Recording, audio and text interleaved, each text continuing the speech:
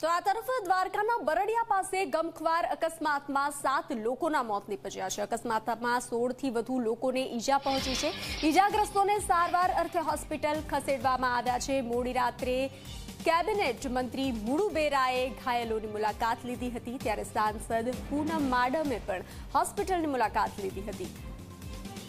બસ, બે કાર સહિત ચાર બાઇક વચ્ચે અકસ્માત સર્જાયો છે. આખલાની લડાઈના કારણે આ ગમખ્વાર અકસ્માત સર્જાયો છે. આખલાની લડાઈના કારણે આ અકસ્માતના દ્રશ્યો સામે આવ્યા છે. લડાઈમાં એક સાથે જે આ ગમખ્વાર અકસ્માત સર્જાયો, સાત લોકોએ જીવ ગુમાવ્યા છે આ અકસ્માતમાં. અકસ્માતમાં મોતનો આંકડો હજુ પણ વધી શકે છે. અઠ્યાવીસ વર્ષીય હેતલબેન ઠાકોરનું તો અઢાર વર્ષીય પ્રિયાંશી ઠાકોરનું પણ મોત નીપજ્યું છે. તો આગળ વાત કરીએ તો ત્રણ વર્ષીય તાનિયા ઠાકોરનું પણ મોત નીપજ્યું છે. જ્યારે બે વર્ષીય હિમાંશુ પણ અકસ્માતનો ભોગ બન્યો છે. તેમજ વિરેન ઠાકોરનું અકસ્માતમાં મોત નીપજ્યું છે. આ ઉપરાંત બરડિયા ગામના ચિરાગભાઈ અને અન્ય એક અજાણી મહિલાનું પણ મોત નીપજ્યું છે. તો કમખવાર અકસ્માતે ચકચાર મચાવી છે.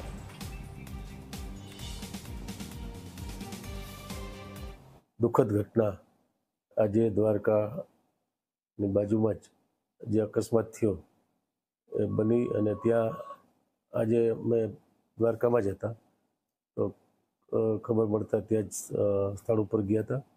ત્યાંના પ્રાંત અધિકારી, પોલીસ તંત્ર અને જે આરોગ્યની ટીમ છે, એને ત્યાં પહેલાં દ્વારકા હોસ્પિટલ બધાને લઈ ગયા અને ત્યાંથી અંબાડિયા જેને રિફર કરવા જેવા હતા એ બધાને લેવા. જે હમણાં અત્યારે ખંભાળિયા હોસ્પિટલમાં પણ મેં જેને ઈજાઓ થઈ છે અકસ્માતમાં, એને હમણાં એ મળ્યો છું.